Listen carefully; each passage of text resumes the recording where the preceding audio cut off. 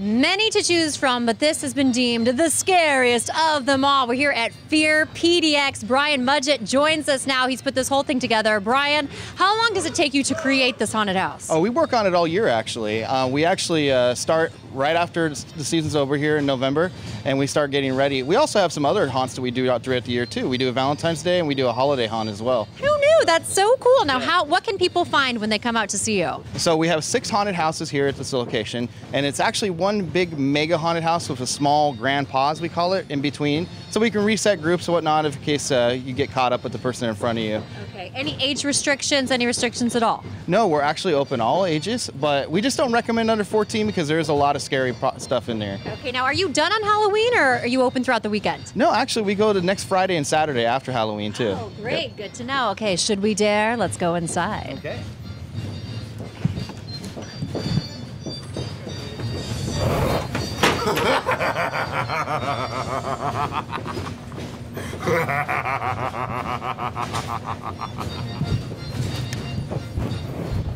Oh, Brian. Okay. Excuse me, sir. Sometimes it's hard to navigate through. Yeah, I got these cotton candy. All right. You can even smell the cotton candy in here.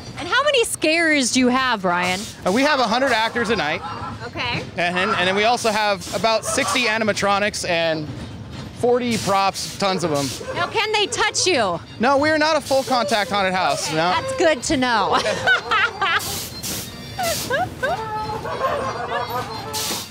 now, what is this called? I'm, I'm sensing a theme of clowns. Yes, this is a Carnage. Um, Okay. Also, I guess the Carnival of Carnage, if you think about it. So, Carnival of Carnage. of course, we have clowns everywhere. They're even back there.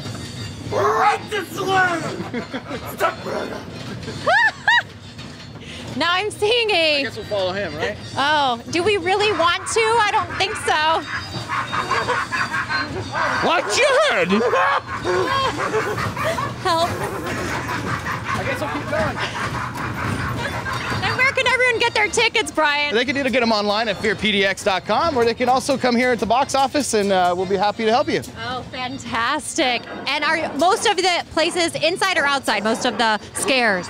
Well, most of it's inside. We have big three big warehouses that we fill up, but there are some outdoor transitions and whatnot. We even have a corn maze outside. Ooh, all right. Well, hopefully we survive the rest of this.